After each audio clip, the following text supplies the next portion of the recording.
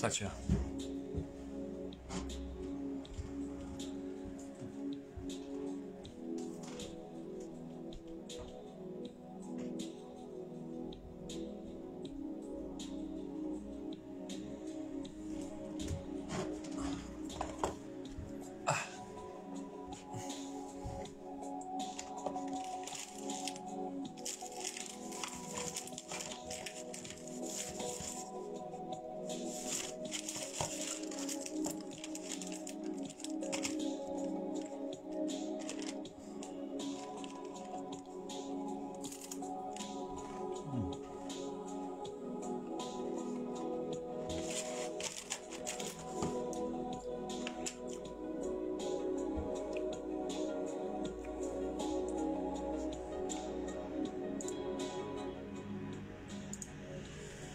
Sad ćemo startovati za koji minut da se priključe ljudi pa ćemo onda da, da krenemo.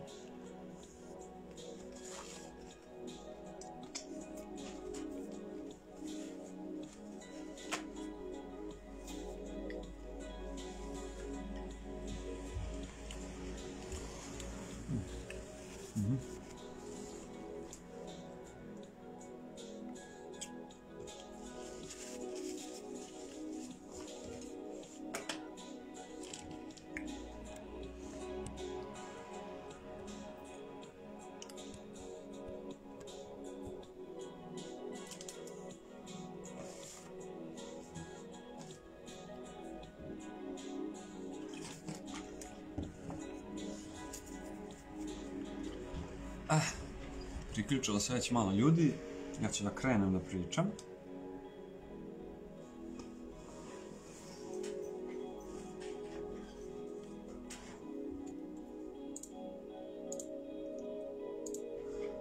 Ah, ugasit ću muziku. Ok. Dobro večer, dragi ljudi iz grupe Astralni svet, moje omiljene grupe. Ja sam Božidar i večera ćemo malo da pričamo na temu slobode. U smislu slobode, ljudske slobode. Znači mi kao ljudi, ovaj, šta je to sloboda za mene, kako to izgleda i šta je to u poređenju sa slobodom od nekog drugog, recimo bića ili nečeg drugog.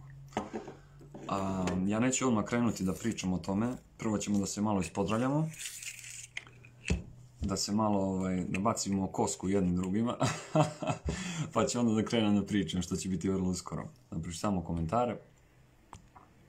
Buffy kaže, poz kralju, zdravo Buffy. Radosla kaže, dobar tek, hvala momče. To su ovaj, napolitanke, ovog puta sam se ovaj, odabrao za napolitanke, dobre su. A Marina kaže, pozdrav voljni ljudi moji astralci, pož, božo drug moj. Zdravo Marinček. Biljana kaže, dobro reče astralci, reče Biljo. Radoslav ima neko pivce, aha. Dobro, sve tišina gleda, gdje se sve tišina. Mhm. Sve tišine maše, zdravo.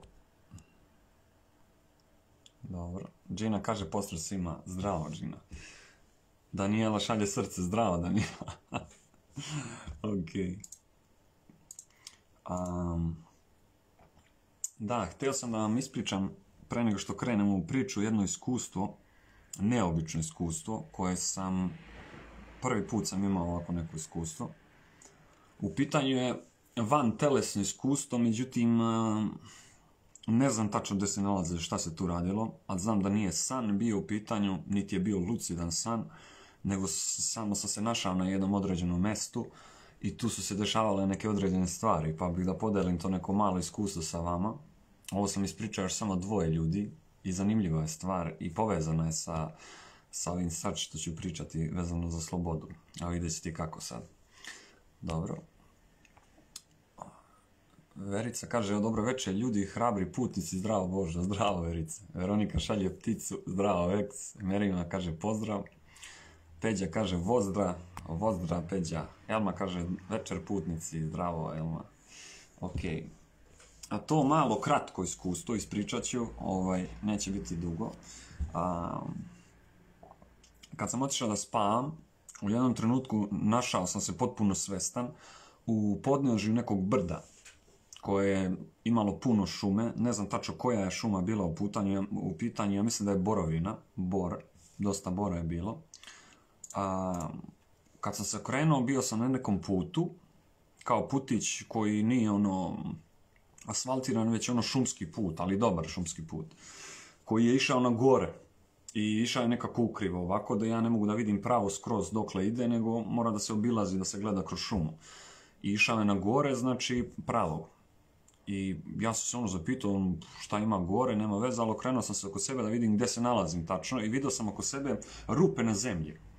E sad, kako to izgleda, kako mogu to da objasnim? Kao kad bi ja sad uzeo neku motku, drvo neko debelo i napravio, u, u, udario u zemlju par puta na isto mjesto i ono kad se udubi, e tako udubljenje u zemlju, recimo male te veličine, i u svakom to udubljenju bila je po pečurka. Pečurka. E sad, um, bilo je raznoraznih pečuraka, između ostalih bilo je i amanite muskarije, bilo je i jestivih i nejestivih i raznoraznih, a uglavnom bilo je specifično da je svakoj tih rupa bila po pečurka jedna. I suda su bile na po možda metar, metar i po odmaknute jedno drugih, sem na putu. E sad, dešava se da ja primećujem da se neko pojavljuje ovaj, pored mene, a, sa moje leve strane, i pojavljuje se osoba um, koja liči na mog brata, na mog mlađeg brata, Milana, i mi krenemo, krećemo tu da pričamo, da diskutujemo, e sad ta, ta osoba koja mi se pokazuje kao moj brat, ja imam oće da to nije moj brat, nego samo uz oblik kad je on bio mali, rekao u redu, nema veze, pošto hoće vjerojatno da se zbliži sa mnom, pa uzima taj oblik koji meni prija u tom momentu. I tu smo malo pričali i dok smo pričali išli smo usput tim šu, ovaj, putem u šumi išli smo na gore i prolazeći, ja sam ga pitao za te pečurke, on nije znao isto, ali znao da mi treba da idemo tim putem i gore da izađemo na jedan proplanak, tu iznad te šumice. Ja rekao, ok, idemo mi gore. Sad šta se dešava? Ja u tom trenutku gledam sebe da vidim kako ja izgledam. Ja izgledam otprilike normalno, ali kao malo, kako bi to rekao, malo i sijavam. E sad da li je be, bela ili plava svetlost nisam tačno siguran, ali sijava malo. Znači kao da sam u nekoj formi koja nije baš, um, nije baš toliko vidljiva. Nego to možda može da vidi samo recimo taj dečko pored mene što ide i možda još poneko. Znači kao duh na taj fazon. Ja sam se našao u tom svijetu kao duh, kao iz filmova. I ja sam išao pored njega, ja sam hodao, nisam lebdeo, jednostavno sam hodao. I kako smo se sve peli više i više usput, um, prime, ja sam primetio da postoje neki znakovi pored puta, bukvalno, koji izgledaju normalno, onako, nemam pojma, nema ništa neobično na njima, međutim, tri znaka su bilo u pitanju. Prvi znak je bio normalan, tipa kao od, od firme, one FAP za kamion, tako nešto je pisalo, kao za kamion. Ja rekao, dobro, Pro, idemo još gore, možda desetak, 20 metara sa desne strane, iz zemlje, bukvalno, kao da je izašao taj, uh, mm, kako bi to rekao, taj billboard, na kome je nacrtan neki čudan, neobičan znak, ja sad ne mogu tačno da se setim kakav je, kao runa neka, i ispod dole je pisalo nešto, opet sad ne mogu se setim tačno šta, ali bilo neobično nešto što je pisalo. Ja rekao, dobro, mi idemo dalje, nalazimo na još jedan znak, isto tako nešto normalno, potpuno je nasumično ti znaci, nema nikako da kažeš ti pre, preterano značenje. I onda krenuću da se pojavljaju ljudi koji se spustaju niz taj put, jedan po jedan ili jedno ili u grupi od po dva izgledaju izbezumljeni, znači kao da su doživjeli neki ogroman šok ili da su krenuli da lude ili tako dalje. I sad, um, kako su oni silazili, oni su gledali, oni nisu gledali toliko mene nego tog dečka ili su gledali kroz njega, znači da su kao da su prsli načisto i ja sam primetio znakove da su ljudi, znači da je nešto im se desilo, katastrofa, nešto Bože sačuvaj. I kako oni silaze, ja počinjem da opažam, sad zalazim u tu krivinu i idemo na gore, ja već počinjem da opažam otprilike gdje mi treba da odemo, nije to daleko od nas, tu negdje 100 metara od nas. I možda 20 ili 15-20 ljudi već uh, sišlo na dole i svi su bili izbezumljeni. Ja sam tu već ono krenuo da razmišljam, rekao šta se dešava ovim ljudima, šta ima to gore, razumiješ da mi treba da idemo. Mi izlazimo konačno na tu uzvišicu gdje postoji određena ravan, znači ravan, ima šuma sa strane, recimo da je ovo mjesto ovdje 20 sa 20 metara, tako da kažem, a šuma je okolo, mi smo izašli odavde i tu posle 20 metara te ravnice ima ponor, dole stotinama metara lom, znači kamenje i tako dalje i u daljini vide se brda. Daleko, daleko od nas vidi se, vidi se horizont. Ok.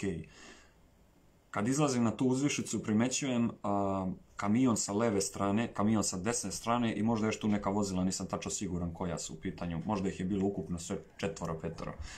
Primećujem jednog lika koji, koji se hvata za glavu i kreće nešto da ludi i uleće u kamion, jedan od tih kamiona i ovaj drugi koji ga drži, pošto i on verovatno pati od istog tog nečega što ovaj pati i zna šta mu se dešava, pokušava da ga skloni od toga da ne uđe kamion u takvom stanju, zato što možda pogine. A, međutim, ovaj mu se otrgne i uđe u kamion i ovaj, naskoči, ovaj drugi naskoči na kamion i ovaj krene da vozi taj kamion i vozi ga nasumično, znači vozi ga kao da je poludio načisto i surva se niz tu provaliju ispred nas i kako je on krenuo da pada, mi smo samo potrčali tu da vidimo šta se dešava i kako smo mi došli do ivice, mi smo vidjeli kako taj kamion dole pada i rastura se i čak šta više vidio sam da su um, ti uh, iz te neke prikolice iza što je taj kamion imao, otvorene te prikolice, neki ljudi skočili sa padobranima, neki crnim i belim, ono, međutim vetar je valjda jak duno ili vetar, ono što sam ja mislio da je vetar, i sve ih razbio ovaj, o to stenje. Znači, niko nije preživeo odatle ko, ko su skočili tu. I mi smo u jednom trenutku se samo pogledali, ja i taj lik, i ništa nismo progovorili i samo smo se okrenuli. Sad nije vlado, nije vlado ni strah, ni ništa, meni je samo bila radoznalost o čemu se tu radi, šta se tu dešava, pošto znam ima za sebe osjećaj da sam jednostavno nedodirljiv, šta god da se desi, znači ne znam se s tim bolim ovo. Međutim, mi se okrećemo i pojavljuje se sad, ja ću pokušati to da vam objasnim, sigurno da je razumljivo, samo koliko vizualno ja to budem mogu dobro da objasnim, eto, da probam. Znači, zamislite sad da da vidite sliku ispred sebe šumice neke i neki kamion iza ima. E sad, to je, zamislite da je to sve slika. E sad, iz, iza te slike izlazi čovjek. Znači, kao da je izašao iz samog vazduha, znači iz ivice vazduha, nekako kao da je izašao. Znači, samo se pojavio tu i to ishodao. Kao da je bilo neko platno, nevidljivo, iz koga je on ishodao. Tako je izgledalo. I taj lik, taj čovjek na izgled, je izgledao isto kao onaj glumac što znate sigurno u onim vremenski putnici, onaj film iz dva dela, onaj Gerard Depardieu, možda ćeš čuli za to glumca, onaj francuski glumac. Međutim, on je bio malo lepši, ali to je bio taj glumac. Tako izgledao na njega, on je uz oblik od njega, ne znam tačno zašto. Vrlo moguće ovaj, da je pročitao moj vibe i od tog, tog dečka što je bio sa mnom, pa je uzeo taj oblik, ali okej. I sad ja krećem da osjećam vrlo neobičanu senzaciju od tog čoveka na izgled, koji izlazi tu i posmatra nas i počinje da se čudi. Bukvalno čudi se i prilazi me ovako, ja osjećam vibe od njega, kao šta vi tražite ovde? Otkud vi ovde?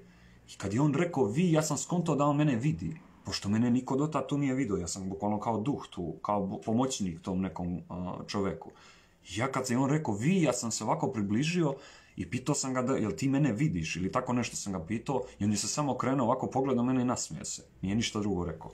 Ja rekao, okej, okay, brate.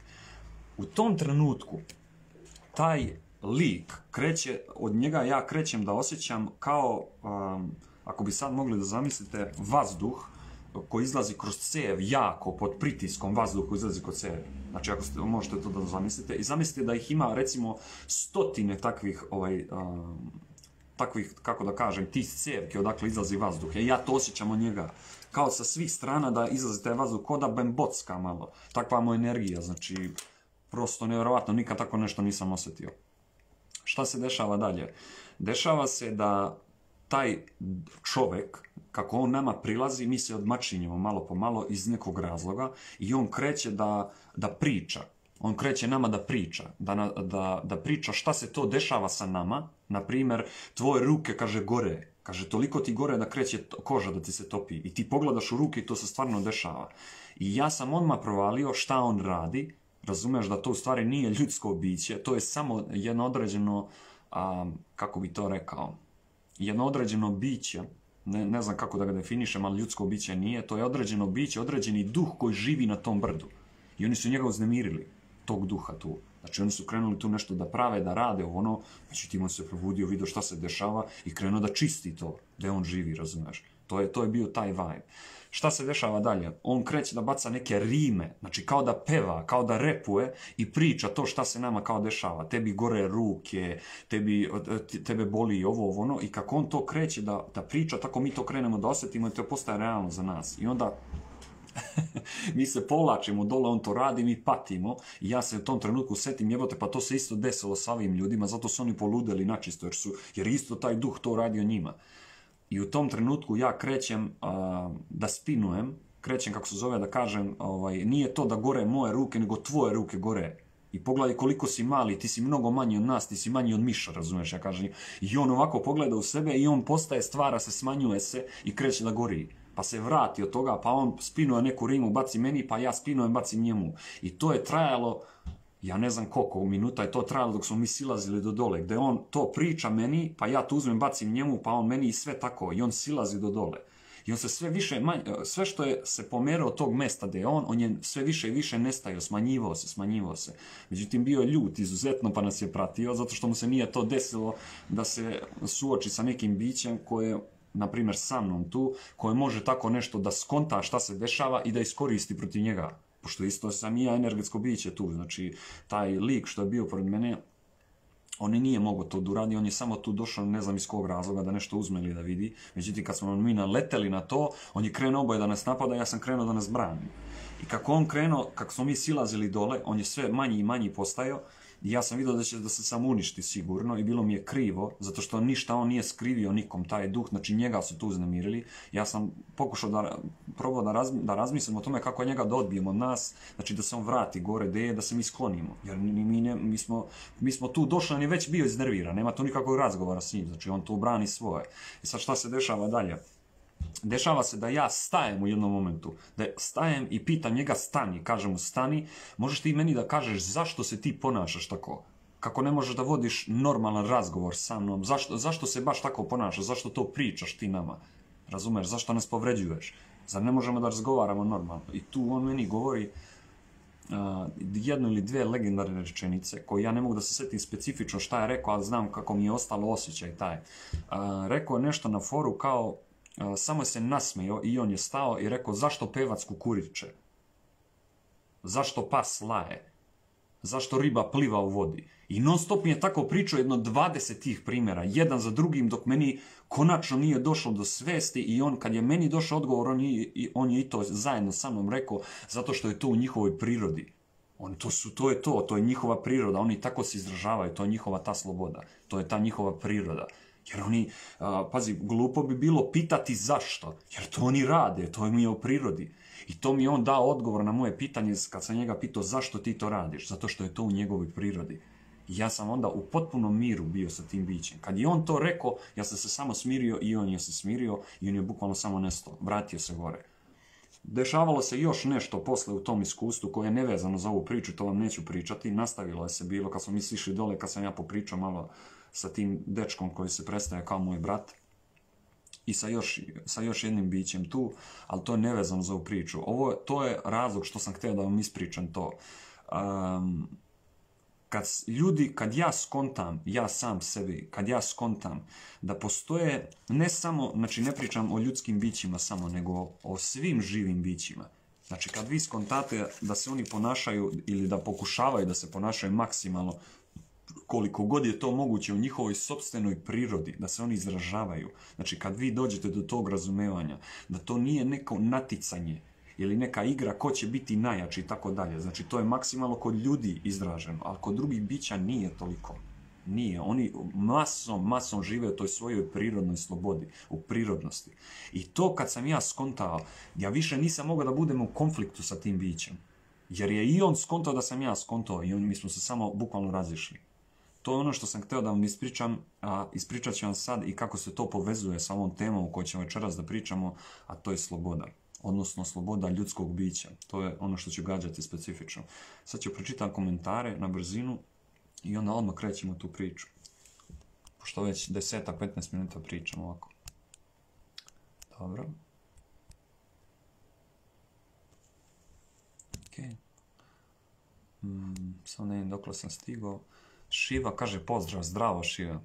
Vlasta kaže pozdrav svima iz Zagreba, pozdrav Vlasta od Bola, iz Bola. Snežana kaže pozdrav svima, pozdrav Snežana Olivera šalje tam za, dobro.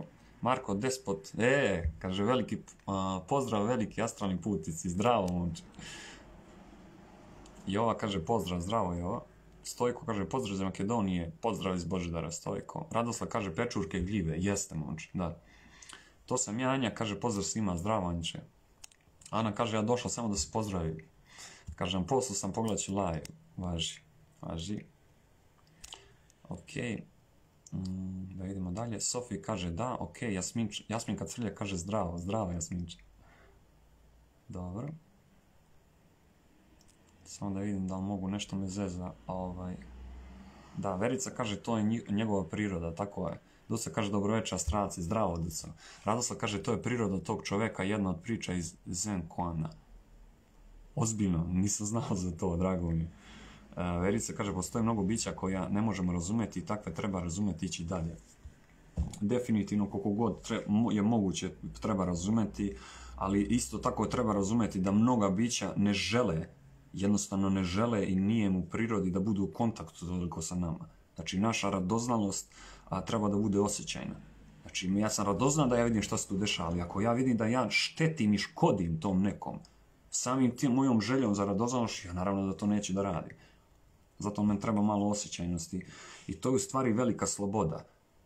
kad ja krenem da razumem, jer čovjek koji razume, to je čovjek koji može da, ne samo da promeni stvari, nego da i drugačije reaguje i da izrazi to svoje razumevanje koje će na kraju da izgleda isto kao sloboda. Znači to je sloboda.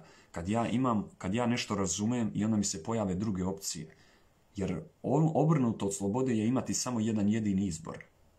Znači imaš jedan jedini izbor i kakva je to sloboda? Ili kad ima, kaže imaš dva izbora, to nije sloboda, to je neka uslovljenost također.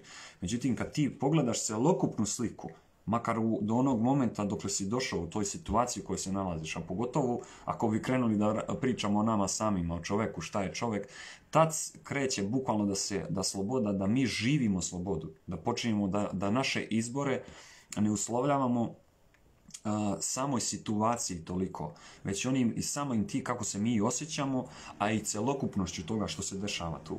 Znači da uzmemo sve u obzir. E sad, ima ljudi, mnogi ljudi, i ja sam jedan od tih ljudi, koji, ma nije toliko potrebno da sve to razumeju, pa tek onda da izraze svoju slobodu, nego se jednostavno vode srcem. To je ono što ja radim, što sam skontao da je najlakše i da je meni prirodno. I o tome ćemo večeras da pričamo. Znači, što se tiče slobode, ok. Ah. A sad pazite, ono što hoću da kažem u samom početku, vezano za slobodu. mnogi ljudi imaju definiciju slobode totalno, znači, van svake pameti. Ja neću da kažem da je to pogrešno, ali van moje pameti, to bi mogao sigurno da kažem, definitivno jeste. Jel pazite, kad ja pričam o slobodi, ja pričam o slobodi u ljudskom domenu. Znači, ja ne pričam o slobodi o ne znam nija čemu, nego mi, nas kao ljudi.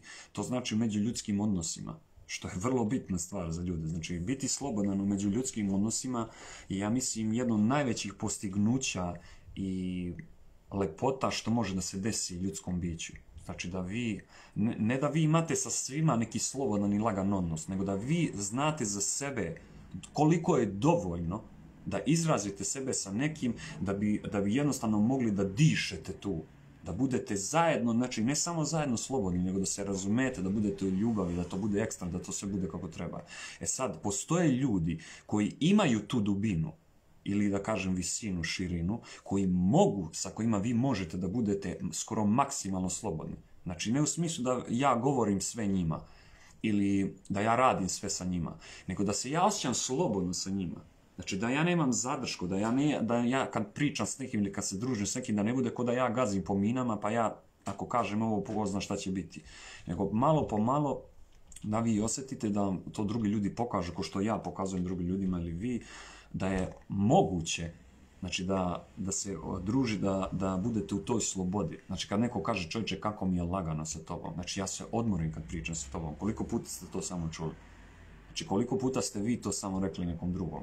Znači takvi ljudi, oni imaju to, oni imaju tu dubinu, tu širinu. Drugim rečima, imaju kapacitet da budu mnogo, mnogo slobodni. U skladu sa vama, naravno.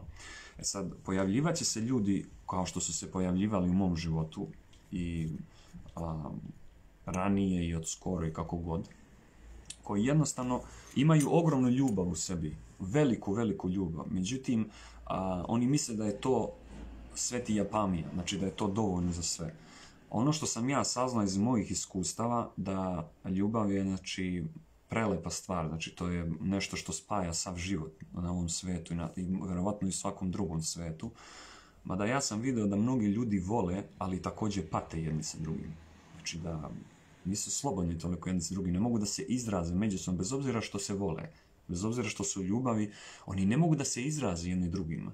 Znači imaju ili različite interesovanja, ili različite razmišljanja, ili različite djelatnosti rade. Jednostavno nemaju tu slobodu međusobno. E sad mi dolazimo kroz ovu priču do jednog vrlo bitnog razumevanja, to je šta je to u stvari sloboda među ljudskim odnosima. Ono što bi ja rekao da je sloboda između mene i recimo mog prijatelja ili prijateljice je ta srodnost. Jer pazite, ako sam ja, a, bez obzira koliko god ja bio svestan ili nesvestan, nema veze koliko je, za mene je sloboda maksimalno koliko ja mogu da se izrazim i da razumem. Ja bih rekao ovo je sloboda.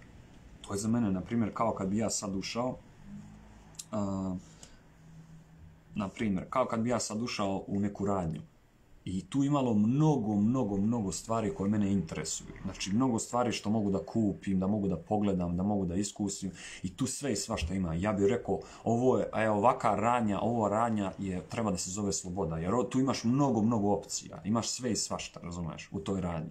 I onda kad bi neko drugi možda ušao tu, kad bi rekao, šta je ovo, nije ništa, evo naspram onog što sam ja iskusio tih tržnih centara, e, da mogu da se kupe i avioni, mogu da se kupe i kola, mogu da se kupe helikopteri, mogu da kupi, možda kupiš šta god hoćeš, razumeš, ovo nije ništa, ovo kakva je ovo sloboda tebi.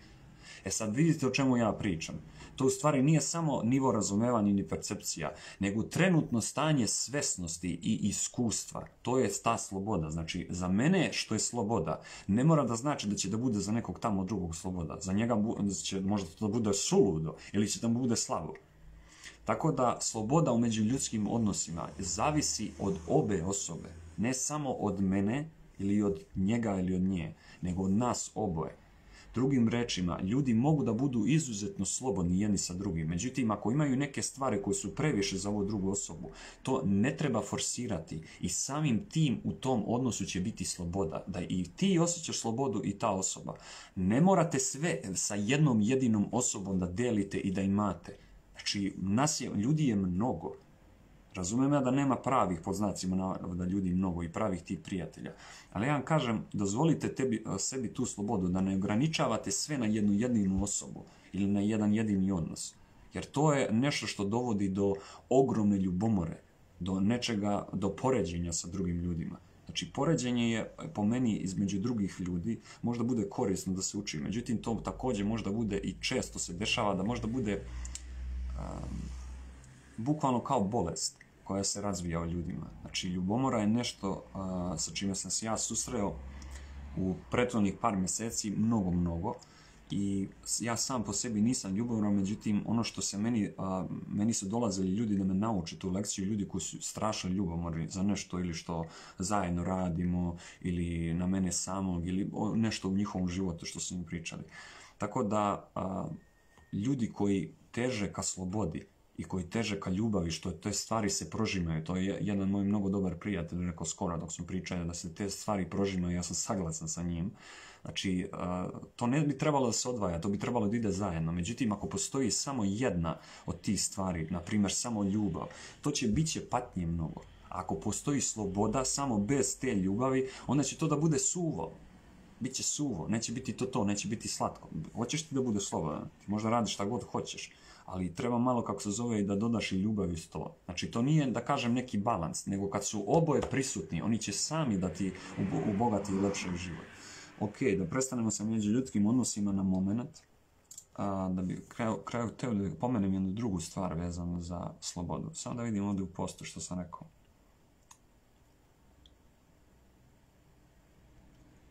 Da. A, u mnogim situacijama makar kod mene u, u subtilnim svetovima, pa i u fizičkom svetu također, dešavalo mi je se da budem uslovljen nečim, da mi se da izbor. Mi neko kaže, ok, od sada, sad je tako i tako. I nema drugo. E sad, ono što se dešava je u tom momentu je da se ja osjetim možda ugroženo ili zarobljeno, ili da nemam izbora, da nemam izlazak, ja moram da biram. E sad, pazite, na mnoge situacije na koje sam ja nalazio u subtilnim svetovima i u fizičkom svetu također, a, zahtevala su neku moju akciju i tako dalje. Znači, to je bilo ok. Međutim, imaju mnoge situacije koje samo liče da zahtevaju vašu akciju. Znači, samo liče na to, nema potrebe za tim. Mnogo puta mi se desilo da se neko iznervira i da krene a, da hoće neku raspravu sa mnom. Nema veze šta je u pitanju. A, bez obzira koliko god je tema bitna, tenzija se pojačava i onda ne može da se dođe do nikakvog sporazuma ničega i ta druga osoba, ona kreće da se dere, da hoće da se svađa, možda hoće i da vređe i tako dalje. Pazite, vi možete da, ja mogu da uradim bilo šta u toj situaciji. Znači ja sam totalno slobodan, slobodno ljudsko biće koje bilo šta može da uradi tu. Nema veze šta je u pitanju. Međutim, ispravna akcija za mene, negde da ja jednostavno mogu da kažem pa ovo mi ne zahteva nikakav trud. To je neka slobodna akcija, nešto što je prirodno, što je dobro iz mene, da i ne reagujem na to jednostavno. Samo ustanem da se sklonim odatle. Bez obzira koliko god taj osoba pričala meni korisne informacije ili nešto što je bitno, ja ne želim da tu informaciju menjam za moju sobstvenu slobodu, za moj divan osjećaj u meni, znači ja čuvam tu svoju slobodu. To ono do, do čega ja dolazim kroz ovu priču. Je da sloboda, kad ja kažem čuvati slobodu, to nije da vi to skrivate, da vi se branite slobodu, nego kad vi budete izloženi nečemu što narušava vas, znači što nije u skladu sa vama, moj predlog je da se sklonite odatle. Razumete? Znači, to je a, prava sloboda. Nije samo izbor, već taj naš osjećaj koji mi već imamo i u tom osjećaju mi kad se nalazimo, drugim rečima, u toj laganosti, znači bez obzira šta god ja sad radim, ja ovaj live, evo recimo pričam ovde, ja u bilo kom momentu, ja mogu da prekinem ovo, mogu da pričam bilo šta drugo. Međutim, što ja baš pričam ovo što sad pričam? Pod broj 1 zato što volim i pod broj 2 zato što mi je lagano. Osjećam slobodu dok ovo pričam. Osjećam se slobodnim, osjećam se neograničen jer mnogo toga mi je se desilo. Ja to hoću da podelim sa drugim ljudima i ja vidim da oni mogu da mi daju mnogo uvida u to. Mogu da učim i od njih i osjećam slobodu, osjećam rast. Sloboda je također povezana sa rastom puno. Znači kad osjetimo, kad smo u prisustvu ljudskog bića, bilo kog drugog bića ili situacije, ili sami sa sobom, i kad mi osjetimo da napredujemo, to je jedan od najlepših osjećaja, mislim, znate i sami koliko je to lep osjećaj. I to je isto proporcionalno toj slobodi, da mi znamo da mi nismo ograničeni i možemo da napredujemo. I možemo da menjamo ne samo naš sobstvene situacije u životu, nego nas same mi možemo da menjamo.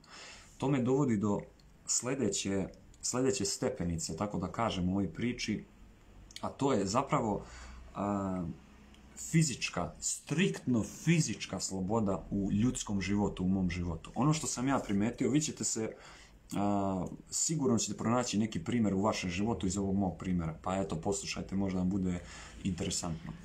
A, primetili ste, sigurno, da ljudska bića u potpunosti, skoro u potpunosti, dominiraju na svakim drugim bićem u ovom fizičkom svetu. Po dominacijom ja smatram da mi možemo da radimo šta god mi hoćemo, nema veze šta je i koliko god to ugrozilo neko drugo biće, to drugo biće može da nas se suprostavi, ali ono je jednostavno slabije od nas. Znači ono ne može nama ništa. Koliko god ono bilo moćno, mi ćemo da radimo šta god mi ćemo. E sad pazite, to zvuči kao nešto užasno, kao nešto Bože sačuvaj. E sad dozvolite mi da vam predstavim jednu totalno drugačiju ideju od toga. Da gledamo samo u okviru mogućnosti, to što sam ja sad rekao. Pazite, čovek ima slobodu, toliku slobodu, da on ne bude u skladu sa svojim sobstvenom prirodom. Svesno da ne bude, da kaže ja neću. Zamislite vi koji je to nivo slobode? Pazite, to ne mora da znači, to može da znači da je to katastrofa, da to ne treba da se radi. Ali ja ne pričam o tome. Ja pričam o mogućnosti da to čovek može. Da on ima tu slobodu, da on kaže ja neću. Ne pada mi na pamet da radim to. Bez obzira koliko god se ja dobro osjećao i koliko sve u meni pričalo da, da, napravi to, ja mu da kažem neću. I koliko puta sam samo to i uradio. Zajedujem se ja, sve to stoji. Ali ja znam da ja imam tu opciju. Ja sam slobodan u tome nečemu.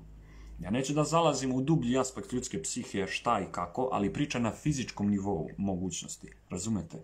Znači, to što ljudi koriste, tu svoju ogromnu slobodu Znači, čak i u svojoj prirodi, sobstveno, znači, nešto što nama nije prirodno, da recimo da ja sad uzmem, mogu da jedem, uzmem da jedem zemlju. Ili da jedem slamu. Ili da, ne znam nija, da popijem benzin ili tako nešto. Pazite, koja životinja će tako da uradi? Koje drugo biće će tako da uradi? Znači, to je promil takvih bića koji će da uradi, ili uopšte nepostojeći. Međutim, koliko puta je čovjek tako nešto uradio do sad samo? Pa vidjeli ste one video klipove, pa ne moraju video klipove, imate sigurno iz vašeg života primjere gdje ljudi rade totalno sulude stvari, ma ne samo da nije u skladu sa njihovom prirodom, nego najdalja moguća tačka od toga. Razumete, oni, šta se dešava u tom momentu? Oni izražavaju tu svoju slobodu. On, on je radoznao ili je budala ili hoće nešto, razumeš, nema veze koji je razlog, ali on ima tu mogućnost i on je koristi. Pazite, životinje isto imaju tu mogućnost. Životinja mnoge mogućnosti ima što može da radi, mogu da se, isto kao i čovjek. Međutim, oni to ne rade. Oni ne rade to. A, sad neko bi rekao, pa da, to je do svesnosti. I jeste do svesnosti. Ta svesnost je proporcionalna našoj slobodi.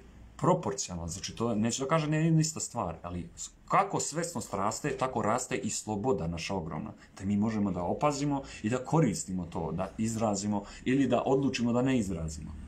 Znači, sloboda nije samo izbor. Sloboda, kao za mene lično, u fizičkom svetu je mogućnost sama. Sama mogućnost da je to moguće za mene. Znači, da je nešto moguće za mene. To je možda katastrofa za mene, ali ja hoću da vidim da li je to moguće za mene. E to je nešto kad u vašem, u mom životu kreće da se manifestuje sloboda. Kad ne, ne samo da ja razmišljam o nečemu, nego da ja nešto probam tu. Da ja nešto vidim da li je ovo, kako ovo izgleda, šta je ovo, šta je ovo, šta je ovo. Mene je radoznalo svodi kroz to, ali zapravo to je stvarno sloboda. Jer pazite, čovjek kao ljudsko biće, on svoju ogromnu svesnost, moć, inteligenciju, rezon, sva, čak i fizičku snagu, on može da upotrebi u beskonačno mnogo smerova. U beskonačno. Ali opet, mi, mi smo to primetili, ja sam primetio i sigurno ste vi primetili, da ogromna većina ljudi, makar ono koje sam ja upoznao, oni ne koriste to. Oni uopšte ne koriste svoje mogućnosti koje imaju. Zbog određenih stvari. Možda zbog nekog uverenja, programa ili nemogućnosti trenutno i tako nešto. Međutim, 99% ljudi koje sam ja upoznao, bez obzira na njihovu svesnost, oni ne koriste to. Oni uopšte svoju slobodu, odnosno to što mogu da urade, oni to ne koriste. Znači, ja nisam ni video interesa za to. Znači, ima naravno ljudi koji su sjani, koji su biseri, koji su divni. Ja se s takvim ljudima i družim. Ali velika većina ljudi to ne koriste. E sad, ja ne pričam ja ovo za tu veliku većinu ljudi, nego ja pričam vama. Ljudima koji ovo gledaju, koji su u ovoj grupi, koji su zainteresovani za tako nešto. Čisto da vam dam neku potvrdu, neki mali uvid u to šta sam ja primijetio. Tako da, kad uzmemo ljudsku slobodu u poređenju sa slobodom nekog bića, da kažemo na primjer, ajde da kažemo na primjer psa, sa slobodom psa. Ljudska sloboda je naravno u potpunosti proporcionalna ljudskoj svesnosti i samoj prirodi tog bića. Znači, da li ima tendenciju kao ovim kao onim. Znači, može da radi razne stvari, mnoge emocije su mu omogućene i mogućnosti ima, mnogo mogućnosti. Pas, on, gledajući logično i fizičko, on mnoge stvari kao čovjek on može da radi, da nauči da radi. Međutim, oni to ne rade. Oni ne rade to. Njima je potrebno da ih mi naučimo da oni rade te neke stvari u ljudskoj toj sferi da bi oni to radili. Dok u svojoj sferi oni se potpuno osjećaju slobodno. U potpunosti. Njihova sloboda, gledajući sa ljudskog aspekta, je tačka, jedna određena, skoro pa ništa u poređenju sa našom slobodom. Međutim, to njima ne smeta. Njima ne smeta to. On, on bi, pas, bilo koji pas, neću da kažem da su svi psi takvi, jer ne znam sve pse, ali u poređenju gledajući, pse, oni su sasvim zadovoljni i u sreći i u slobodi sa totalno najobičnijim mogućim stvarima, koje da je do njih oni nikad ne bi mijenjali. Nikad. Znači, kad, kad ste vidjeli psa da je promenio svoj neki način života, ili da je probao nešto što ni jedan drugi pas nije probao, ili da je krenuo, razumete, to nije samo do mozga, do, do toga šta on može da uradi, koliko on mogućnosti ima i tako dalje, nego ne postoji prirodna tendencija ka tome uopšte. Znači, on nema tu mogućnost kao što imaju ljudi. Tako da u poređenju sa drugim bićima, pogotovo fizičkim bićima ovdje, čovjek je astralnim kilometrima daleko iznad bilo kog drugog bića u poređenju slobode njihove. Znači, mi imamo kao ljudi Ja kao čovjek, ja to vidim, ja imam enormne mogućnosti. Drugim rečima, tu slobodu. I pazite vi kako je to interesantna stvar. Sama činjenica da čovjek, da ja mogu da kažem neću za nešto što je meni u prirodi, što se ja osjećam dobro, što bi to neko bi rekao svaki dan, drugi, svaki dan bi to radio. Ja mogu da kažem neću i da odaberem da to ne uradim. To je za mene jedan od najvećih izražavanja slobode. Znači, ne da ja to hoću da uradim, da ću ja to da uradim, nego da ja imam tu mogućnost. Znači, da ja odaberem da neću. E to je za mene nešto božansko, što prevazilazi i dobro i loše, nije dualno, nego ti jednostavno iz te tačke da se ti nalaziš, iz te percepcije, šta god da ti opaziš, ili šta god da ti dođe, bilo šta, ti možeš da odabereš. Znači ti možeš da odabereš, tvoj spektar odabira mogućnosti je toliko neverovatno neograničen, da se konstantno razvija. Znači razvija se, zamislite vi tu neograničenost, to ne samo da to postoji, to ogromno, nego se non stop razvijaju, non stop dobijamo druge mogućnosti, druge uvide. Neverovatno, znači ja sam prosto oduševljen ljudskom slobodom, nač, stepenom slobode, imaju mnoge druge forme i mnogo druga bića koje imaju ogromne slobode, ali ja pričam sad u fizičkom svetu. Ja smatram iz mog dosadašnjeg iskustva da u fizičkom svetu, ja mislim da će se mnogi složiti sa mnom, ne postoji biće koje je slobodnije od ljudskog bića. Znači ne pričam ja u slobodi kako će onda koristiti to, da li će nekog da potlači, da dominira, da ubija ili će da to poboljša, da to raste, da, da nešto unapredi da bude u harmoniji sa životom, ja ne pričam o tome. Ja pričam o tome o mogućnosti. Da ljudi ima totalno, znači pazite vi kolika je to različitost u ljudima, u ljudskim bićima. Znači, vi možete da nađete sigurno jednog čovjeka, da kažem muškarca, koji je toliko različit od ovog drugog ovdje muškarca, da oni ne mogu uopšte da se porede ni u čemu, sem možda u blagom fizičkom izgledu. Znači i tendencije, i narav, način ishrane, izgled, a, sama njihova priroda, oni toliko mogu da budu različiti, da, to, da bi neko mogao da kaže ovo, nisu, ovo nije ista rasa. Ovo nije ista uopšte rasa, ovo je nešto drugačije. Zamislite vi koliki je to spektar mogućnosti, kolika je ta sloboda u ljudskoj prirodi, koliki je taj spektar da, da iste, u iz iste vrste oni mogu toliko da budu različiti da uopšte, da ti ne možeš da ih prepoznaš, da ne možeš da ih uporediš jedno sa drugom. Toliko je moćna ljudska priroda, drugim rečima ta sloboda koju čovjek ima. Ja sam frapiran time. A, iz mojih primjera, mnogo toga mi se otkrilo što se tiče ne samo slobode, nego te prirodnosti i pričat ćemo o tome. Ali što se tiče samih ljudi i ljudskih bića, ja ne znam da li sam ja imao jedno iskustvo koje je slično iskustvu slobode ljudskog bića u ambijentu u kome se nalazi. Znači, ja mislim da smo mi vrh, sami vrhunac i kruna života u ovom fizičkom životu, u ovom fizičkom svetu ovdje. Jer svaka naša odluka, svaka naša akcija, bilo šta što mi uradimo ili prestanemo da radimo, toliki uticaj, fizički uticaj ima na našu okolinu, da ne postoji nešto drugo što ima toliki fizički uticaj. Znači, ja, u redu možemo da pričamo o vremenu, o tornadu, o zemljotresima i tako dalje. Ali pogledajte vi malo kako izgleda zemlja. Pogledajte kako izgleda zemlja, koliko smo mi promenili, koliko smo mi uticali na to. U skladu sa možda našom prirodom ili ambicijama ili tako nečim. Znači mi, znači mi možemo, ne može ništa se poredi sa nama. Mi smo na vrhuncu. To ne znači da mi treba budemo sad arogantni ili da sam ja arogantan. To znači jednostavno da ta sloboda o kojoj ja pričam, ona se iskazuje kroz nas ovdje. I bez obzira da li je to mnogo loše ili je mnogo dobro, ona se iskazuje. Mi istražujemo sve avenije naše prirodnosti, onoga što mi jesmo kao čovjek. I to često izgleda ružno, ali to postoji. To je čovjek uradio. Nije uradila zver, nego čovjek. Tako da to treba, to treba da se uzme u obzir po meni, da čovjek nije samo dobar ili loš, nego postoji ta jedna određena velika nijansa i sfera u čovjeku koju bi ja nazvao njegovom slobodom ili ti prirodnošću. Da jednostavno nema dobro i loše, nego taj ogromna, ogromna širina mogućnosti čovjeka šta on... Druga, druga, druga je tema o tome šta će on da uradi. Ali ono o čemu ja pričam je ovdje mogućnost, drugim rečima sloboda. Sloboda je također i osjećaj u meni, koji ja znam da se ja osjećam lagano i da se ja osjećam kao da mogu sve da uradim. Znači, to nije osjećaj moći, da ja imam moć, da ja mogu sve da razvijem ono, i to možda bude sloboda. Ali ono o čemu ja pričam je sloboda u smislu da ja više nemam nešto što me ograničava. Tako da sloboda je u negaciji, može da se govori samo o slobodi. Kad ja nemam, na primjer, misli, ja imam totalnu mentalnu slobodu, jel tako? Kad ja, na primjer, nemam fizičku bolest, nešto što me mori fizički, ja imam potpunu fizičku slobodu, da moje telo može maksimalno da bude izraženo koliko god je u tom njegovom domenu. To je također fizička sloboda. Emotivna ili osjećana sloboda je po meni stanje mira. Znači, stanje mira, kad nije da ne postoji ništa, nego ti osjećaš taj mir, tu slobodu, tu laganost, da ti možeš sve. Nije samo da ti možeš sve, nego da ti i ne moraš ništa da ti ne moraš ništa, to je vrlo bitna stvar kod ljudi. Kad krenu da uviđaju, kad vam neko kaže ja moram to ili ti moraš ovo ili ono, kad ljudima dođe iz dupeta u glavu što kažu, da čovjek ništa ne mora, nego da sve ili hoće ili misli da mora, znači ne da mora, nego misli da mora, onda kreće ogromno oslobađanje iz našeg uma. Znači, bolje recite ja to hoću ili meni to treba, radim to zbog toga i toga, nego da kažete ja moram.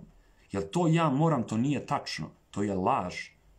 Ti moraš zato što smatraš da moraš. A to kad se ne bi uradilo, život bi se nastavio. Život bi se nastavio. Razumeš, znači ti, može da se kaže ja moram da se ne bi desilo to i to ili ovo ili ono.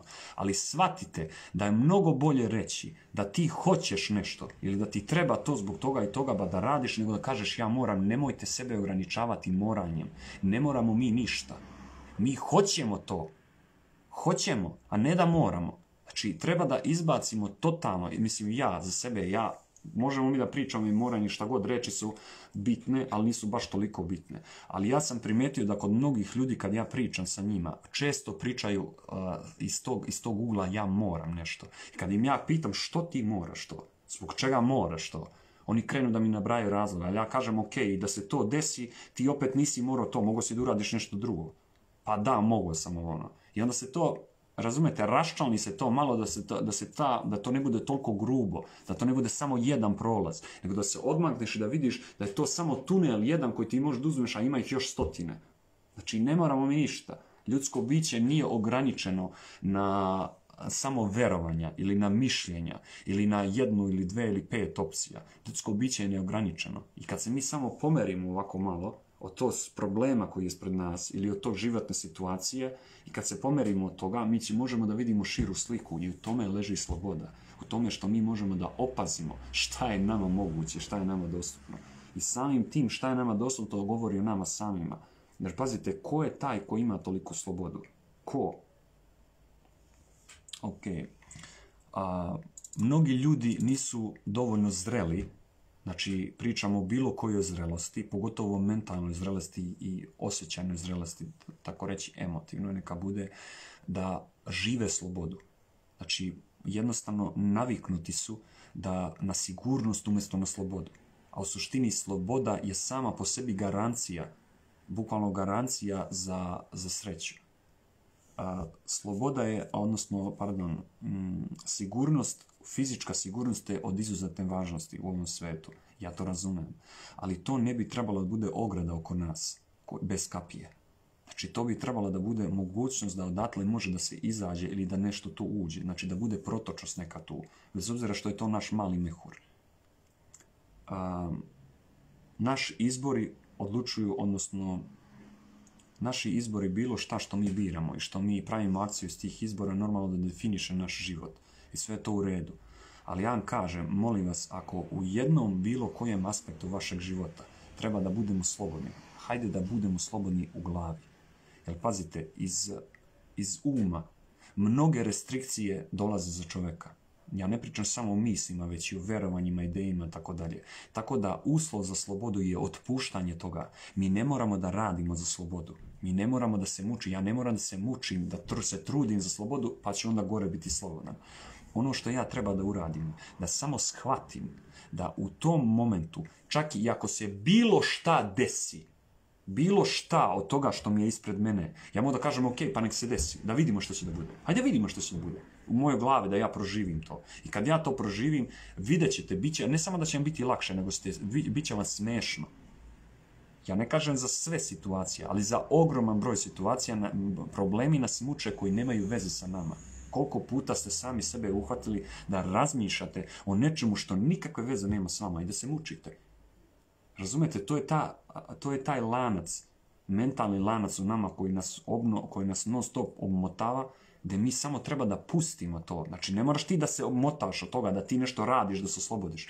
Samo treba da se pusti to. Znači, kad me neko pitao, pa kako?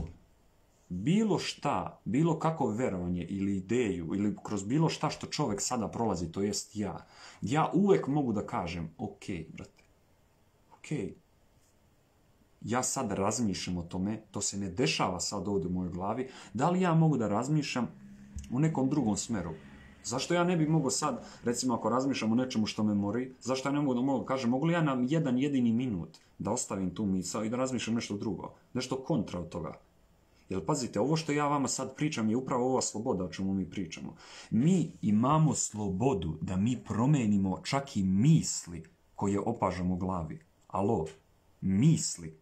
To mnogi ljudi ne shvataju, oni misle da je to nemoguće, ali ja vam kažem da možete. Pomislite bilo koju misao, bilo šta. To znači da vi možete da kreirate u vašem umu ono što utiče na vas mnogo. Koristite to, molim vas. To je tako jednostavno. To je toliko jednostavno. Čovjek ne zna koliko je slobodan još uvijek, ja, ja to primećujem. Ko što ne znam ni ja, ja otkrivam to tek. Ali ono što sam otkrio do sad je da ako nešto možemo da budemo svesni toga, da opazimo, ne samo da mi možemo da promenimo to, nego mi možemo da budemo, da živimo slobodni i sa tim integrisanim. Ne mora da se odbacuje baš sve. Može da je ostane to tu, ali kad se osvesti više nam ne smeta. A to su recimo misli. Imam i ja misli. Meni poneki put dođu misli. Ali fora je u tome što i sam ja svestan sa njih. Ja shvatam da, ja, da je to promenljivo. Nije to nešto što ja moram da trpim. Ja to mogu da promenim. Razumete? I onda kad ja to shvatim, ja to i koristim po potrebi. I onda jednostavno sve što ostaje je taj mir, ta sreća, ta laganost, što ljudi jako puno žele i jure u ovom životu zbog mnogih drugih situacija, ali uglavnom to im fali. Ja vam kažem da to ne morate, ne morate da meditirate godinama za to, ne morate da se trudite po toliko za, za nešto što je toliko jednostavno, a, jednostavno je nepotrebno. Ono što treba da se uradi je da samo osvestimo šta smo mi sami, ka, šta je to za nas. Znači, ako me misli muče, ako ja vidim da mi bol dolazi iz glave, znači da ja razmišljam o tome, zašto se ja ne, ne bih zapitao, ja čekaj, mogu ja da promijenim misli? A da vidim šta je to. Sačekaj na minut, jedan minut da dam sebi. Ili ako postoji neka bolest u mom telu, nema veze šta je u pitanju. Da ja da ja jednostavno posvetim dovoljno pažnje tome koliko treba i onda da se ne bavim više tom tematikom. Znači, samo dovoljno, to isto i za misli. Ja im posvetim dovoljno pažnje, ja to kad okrenem, jel ja treba da razmišljam ono negativno, što sam, do što sam malo prerazmišljao. Gde su te misli nestale koje su me mučile do tada? Nema ih. Toliko su, toliko su subtilne stvari da, da jednostavno onog momenta kad se pomaknu, one više ne postoje. Ja moram ponovo da ih pozovem da bi one postojale. Znači, u mom, u mom svetu one ne postoje u tom momentu. Tako da velika sloboda za ljude trenutno sad koje sam ja primetio je sloboda uma. Znači da osveste misli svoje, to je to. Kad osveste misli, misli će da ih dovedu do verovanja nekih, do nekih navika i tako dalje. I onda to lako može da se osvesti. Pazite, o to je ono što je naša najlepša lepota u ljudskoj prirodi, što mi ne moramo da se trudimo ni za šta. Ni za šta mi ne moramo da se trudimo da bi živeli srećno, da bi iskazali to što mi jesmo. Sad neko bi rekao, pa dobro, mora da se ide na posao, da se zarađuju pare. Ja vam kažem da ne morate vi to da uradite. Mi biramo da to radimo. Mi biramo. Zato što nam je zanimljivo to, zato što volimo to, zato što nam treba to. Mi biramo. Nemojte da kažete da morate, jer to stvarno nije istina. To nije neka caka kao ako kaže mora ili ne mora, bit će ovako. Ja, ja dovodim do znanja da zaista ne morate.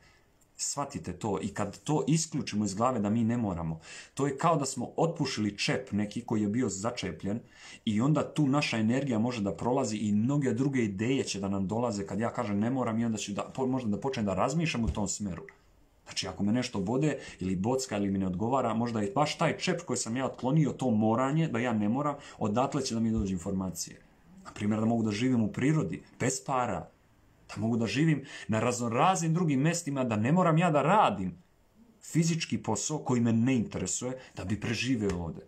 Svatate vi to? Vi ne mora, mi ne moramo to. To je stvarno moguće. Pazite, to nije moguće možda ovog momenta, ali definitivno da možemo ogromno da se približimo tome u vrlo kratkom roku mi možemo da krenemo da živimo to. Samo kad bi isključili, izvadili taj čep iz glave koji kaže da morate nešto. Ne moramo mi ništa. I tome leži velika sloboda. O tome mi možemo da kažemo jebote, ko da sam prodisao jedno. Kaže kad mi je pao kamen sa leđa. E to je taj osjećaj slobode. Znači, to je ta sloboda, olakšanje, kad se ti osjećaš laganim, to olakšanje, to je ta sloboda o kojoj ja malo ovdje pričam. Šta bi još mogla kažem za to? Ajde, pročitam malo pitanja, verovatno vi imate neka pitanja ili komentare vezane za to. Da vidimo. Ok. Aha. Dobro.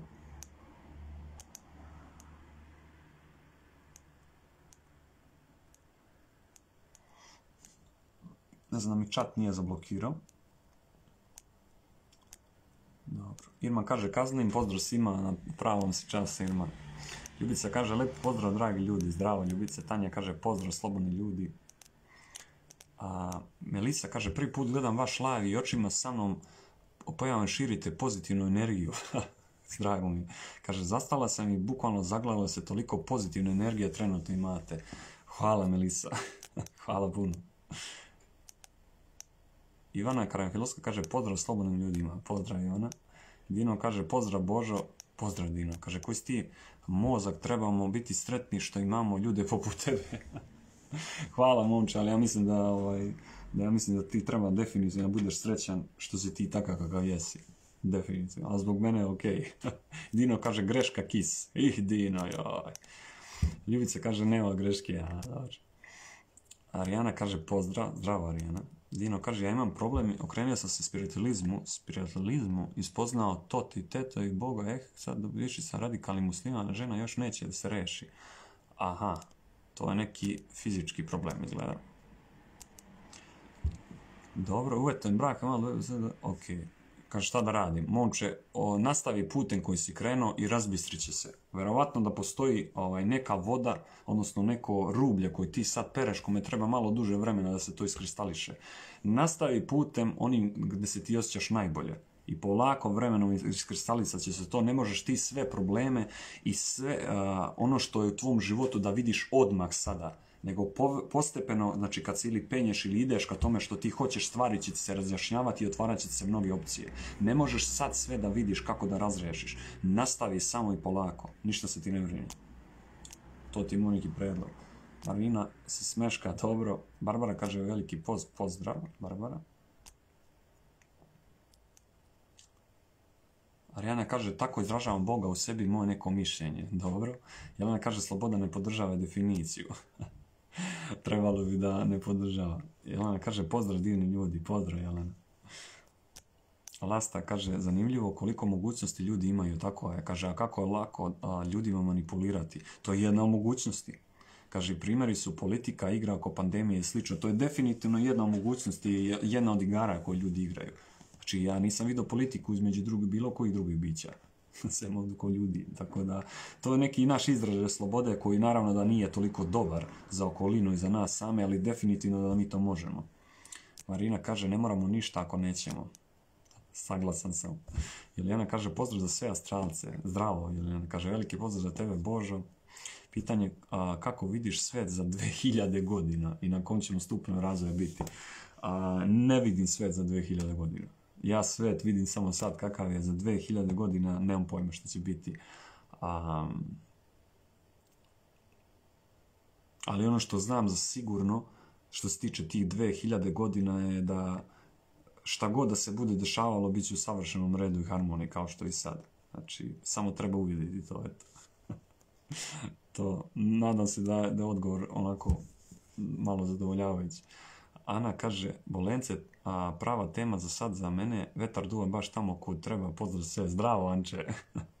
Rijana kaže, da li su tebi osjećaji postali neutralni posle viđenja šire slike? Nisam siguran, a šire slike, pa ne, ja ne znam celokupnu sliku, ali malo sam samo proširio taj svoj uvid i vidio sam da nema potreba se ja brinem oko ničega. Znači, to sve ide svojim tokom i ja treba samo da, ovaj, da se prepuštam, da se odučavam. od onoga što sam učio. Kaže, da li ste već postali neutralni posle viđenja šire slike? Postao sam mirniji, to mogu da ti kažem. Ako neutralnost mire, onda da. Kaže, nisam sigurno jesam li dobro postavila pitanje, ali ti, ti ćeš reći razumjeti. Postavili si ga cool, razumjeli smo se. Ok, sad ćemo da vidimo, pošto ja ne vidim onda druge komentare, verovatno da ih i nema, sad ćemo da pročitamo komentare iz a, samog posta. Ok, da odgovorimo na njih. Olivera, znači čitam komentare iz posta sad. Olivera kaže sloboda, težnja, čežnja, ideal zanima me. Dobro, Olivera. Verica kaže divna tema, sloboda u svetovima koji su dostupni, pozdrav i hvala. Da, mogu sam da pričam o ljudskoj slobodi u suptilnim svetovima, koja je enormna. U porađenju sa fizičkim svetom to je neuporedivo nešto.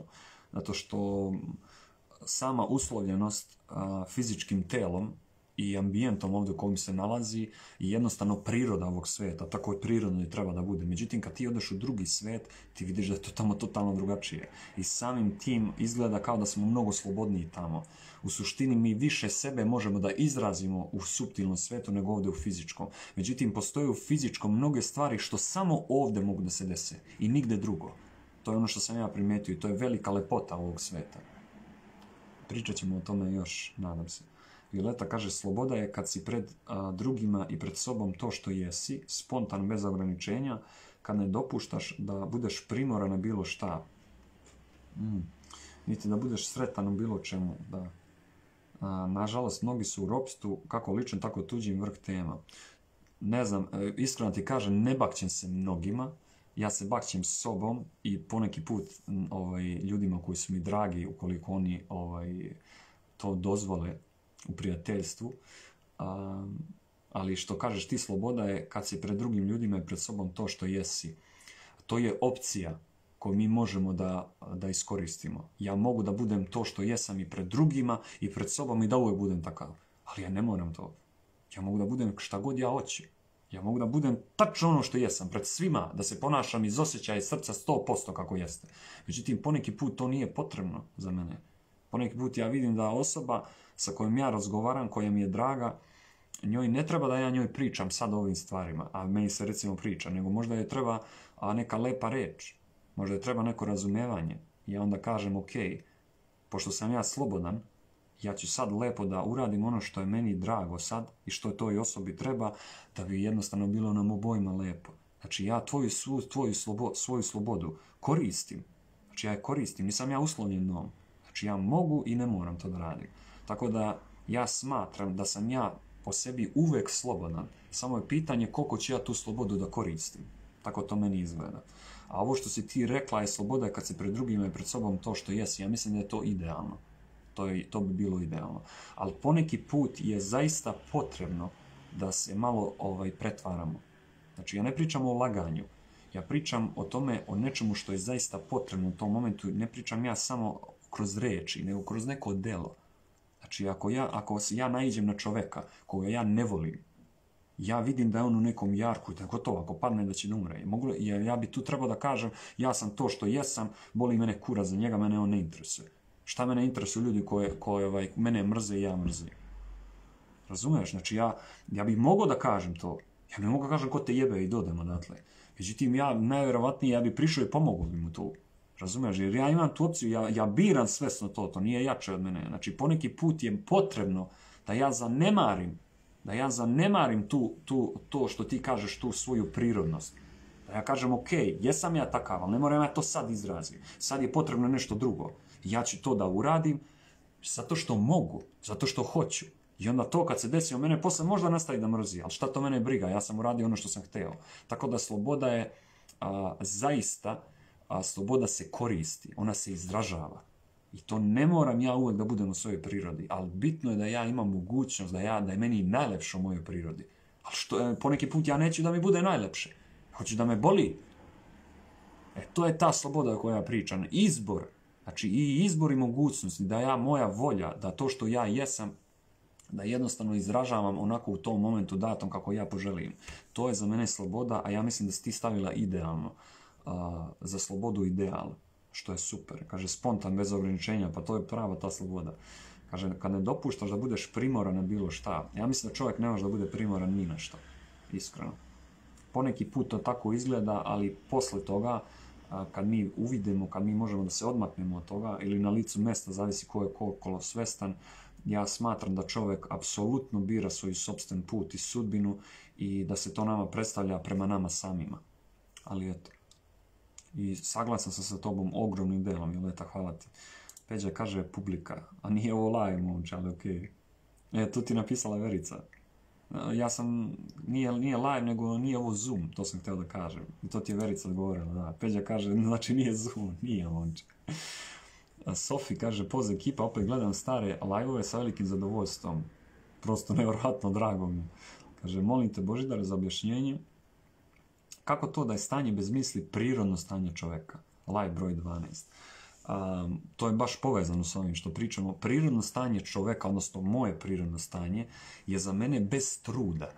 Znači, ja mogu da radim neku radnju, nema veze šta je, ali da ja ne osjećam zamor, drugim rečima trud, da, ja, da ja se ne mučim ili nebitno šta tako. E sad misli, često se desi, ja ne kažem da je uvijek tako, ali često misli nama stvaraju mentalni taj trud. Znači, znaš ono kad previše razmišljaš pa se onda odrazi i na, i na osjećaj, i na telo. Znači, koliko puta ste razmišljali nečemu i krenete da drhtite ili uznemirite se. Znači, misli mogu da utiču na sve te stvari kad mi ih opažamo. E sad, kad misli nema, kad nema misli, to je po meni ono, o smo, ono o čemu smo sad pričali, moja prirodnost. Znači, da je to idealno, za mene to mi je najlepše poneki put ja hoću da imam misao, ja je koristim zbog te slobode što smo mi sad rekli, ali ti si me pitala kako to da je stanje bez misli prirodno stanje čovjeka. vrlo lako, samo moment.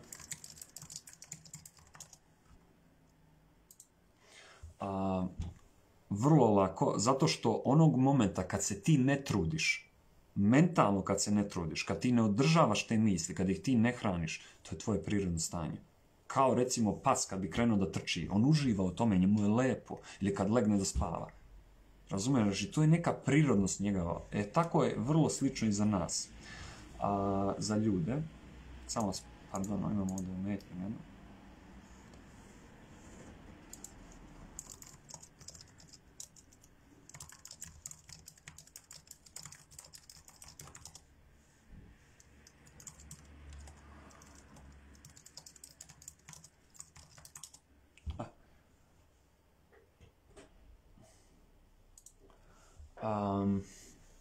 dobro, samo vidim dokle sam stao. Da, do ovog divnog pitanja.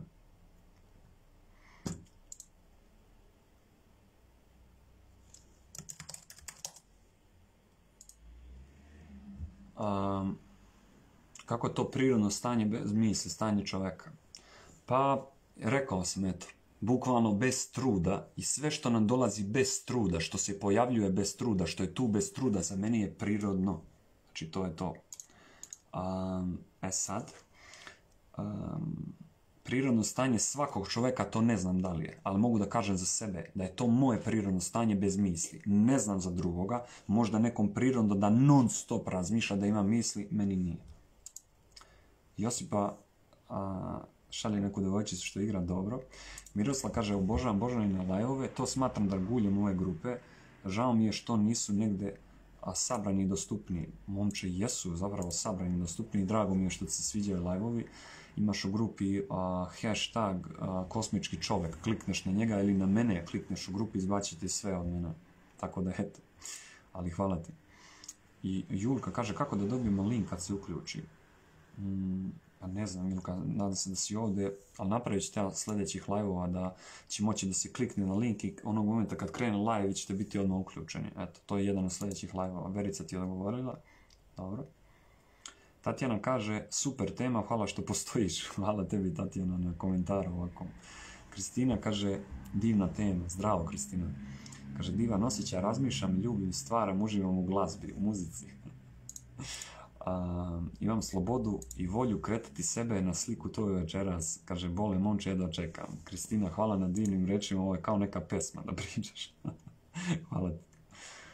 Ivan kaže, sloboda u 3D-u. Veći ti izazov. kaže, baš sam shvatio značenje umetička sloboda, da bom, momče.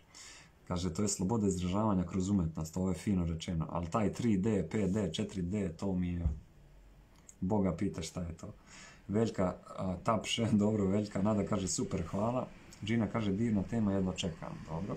Verica kaže pitanje, kako najbrže vratiti izgubljenu u neznanju i strahu svoju slobodu, najizvršeniju himnu blisko svog bića. A, zdravo, Verice, ponovo, ja bih rekao da nema tu vraćanja nekog ni odlaska, nego da te stvari koje su prekrili nas, na koje toliko pažnje obraćamo, samo treba malo da se vratimo nazad.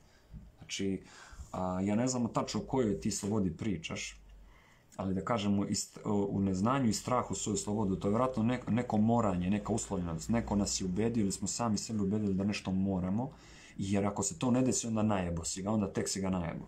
Tako da, kako vratiti, tako što se isključiti iz tog programa jednostavno.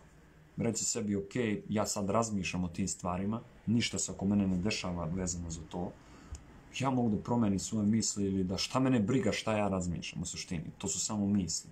Tako da što se tiče slobode, ove o kojoj ti pričaš i strahu, to je isključivo vezano za uverenja, navike, razmišljanja, to je sve mentalna sfera. Drugim rečima neke misli koje ti dolaze. A, kaže, najuzvišenije bliz, blisko sliku bića. Ja predlažem da ljudi koji ne mogu da se bakću mentalnim i mislima, krenu da se bave osjećanjima. Znači, nemojte ulaziti u glavu ako ne možete da se izborite sa tim. Znači, možda je previše trenutno za vas, niste dovoljno zreli da razvijete svoju mentalnu mogućnost razmišljanja um, i bilo koju drugu mentalnu fakulti, uh, već vratite se na osjećaj. Šta to znači? Verice, na primjer, desi se razmišljam razrazi stvarima, sutra imam nešto da uradim, ne znam da ću stići, od mnogih drugih ljudi mi zavise neki planovi i tako dalje. Ono što ja mogu da uradim u sadašnjem sad momentu, znači ono što me muči iz glave, ja mogu da kažem, ok, kako se ja osjećam sad? I da vidim, da sam čekam i da se obratim pažnju na osjećaj. Znači bilo koji osjećaj, nema veze koji osjećaj. Znači ne misao, nego na osjećaj. Znači to, to su dve različite stvari, to nam je poznato. Ti kad kreneš da osjećaš, ta pažnja, Znači, ta ogromna pažnja koju ljudi imaju, ta ogromna moć božanska koju mi imamo zvana pažnja, ona se usmerava sad na jednu totalno drugu sferu nama, to jest osjećajnu sferu. Neko kaže emotivno, nema veze. Um, ono što bih ja mogao da kažem, vezano za kako vratiti tu slobodu, je tako što ćemo obratiti pažnju na ono što je najslobodnije u nama, a to je osjećaj. To je definitivno osjećaj. Jer osjećaj ne mari da li mi nešto možemo ili ne možemo. Ili da li mi nešto treba ili ne treba. Da li je nešto moralno ili nemoralno. Osjećaj je tu. On nama govori šta, šta mi hoćemo u suštini, koja je naša priroda. Obrati pažnju na osjećaj u tom momentu kad ti doživljavaš nedostatak slobode. Znači, pusti glavu u tom momentu i vrati pažnju na osjećaj. To ne znači da se ti izboriš sad ovde i sačeka da se ja izborim s tim pa ću ja doći ovde. Ne, to znači da pažnju odavde iz misli preusmeriš na osjećaj ili na srce ili na to kako se osjećaš. Jer nema to posebno mesto da se nalazi, nego na osjećaj. Kaže, kako se ja sad osjećam? Bilo koje tvoje osjećanje i najgore neko osjećanje je bolje od razmišljanja o tome. Jer to osjećanje koje ti iskusiš, ono se pročišćava i dolazi do svog, do svog cvetanja, do maksimuma, ono se pročišćava. Strah prerasta u uzbuđenje. Strah neće da ostane strah ako se mi bazi okrenemo ka njemu. On će da postane uzbuđenje ili otkrovljenje nečega. Znači, to, se, to je transformativna stvar u nama samima, taj osjećaj te emocije. Dok, na primjer, kad mi uparimo emocije sa mislima, kad ja, recimo, imam emociju prema nekoj devojci, ja, ona mene više ne voli, šta da radim i osjećam se užasno. I onda ja umjesto da kažem ok, osjećam se užasno i da dišem, ne, ja opet razmišljam o tome kako mene ta devojka ne voli. Znači opet upalim mentalnu sferu, ja samo treba kažem ne, ne, ne, ne, ok, mene boli, fokusirat ću ja na to, da dišem, pa se onda fokusira na disanje, smiri se malo i onda kaže kako se sad osjećam, imam osjećaj nekog mira, oslobođen i da se malo vratiš na sebe. To nas vraća sebi, toj slobodi o kojoj ti pričaš da se mi obratimo pažnju nešto što je slobodno, ne nešto što je uslovljeno mentalno, što već smo u tom koloseku, samo obrati pažnju na osjećaj, na disanje, na osjećaj, na fizičku senzaciju. Jer tu postoji određena ta sloboda do koje mi znamo kako da dođemo lako. Ne trebaju ti knjige da bi ti to radila, niti neko da ti naučiš to. Ti to već znaš. Kad te neko pita kako se ti osjećaš, jel ti možeš da učiš možda o tome? Jel to tebi možda neko treba da objasni? Ne, to ti je prirodno. Ti odmah znaš kako se osjećaš. Čak i ako ništa ne osjećaš, ti možeš kaži ja ne osjećam ništa.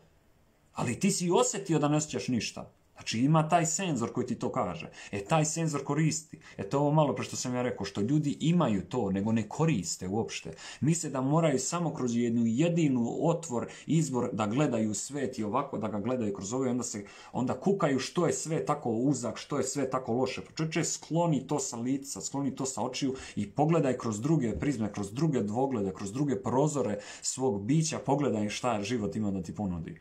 A jedan od tih prozora je osjećaj. Da čovjek može da živi u potpunosti, bez ikakvih problema, kroz osjećaj. To je ono što se meni dešava. Znači, ja ako živim osjećajno, ja sam, meni se danas desilo da sam prekinuo razgovor sa jednom osobom, ona je pričala meni o bitnim stvarima, o nečemu što sam ja trebao da čujem, ali meni je moj osjećaj rekao, slušaj, mi ne možemo više da slušamo ovo. Znači, već kreće, kreće da mi bude mučnina od toga, kao kad bi sad gledao nešto užasno što se dešava. Znači ja ne želim da gledam to.